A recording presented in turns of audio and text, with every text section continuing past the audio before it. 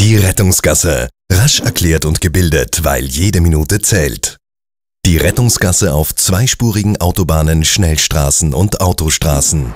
Sobald der Verkehr ins Stocken gerät und ein Stau droht, fahren Sie auf zweispurigen Autobahnen und Schnellstraßen auf der linken Spur so weit wie möglich nach links. Auf der rechten Spur fahren Sie so weit wie möglich nach rechts.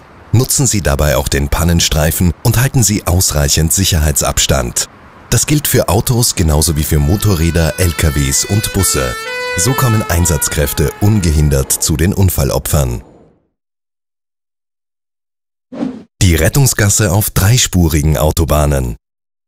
Sobald der Verkehr ins Stocken gerät und ein Stau droht, fahren Sie auf dreispurigen Autobahnen auf der äußersten linken Spur so weit wie möglich nach links. Alle anderen Spuren fahren so weit wie möglich nach rechts.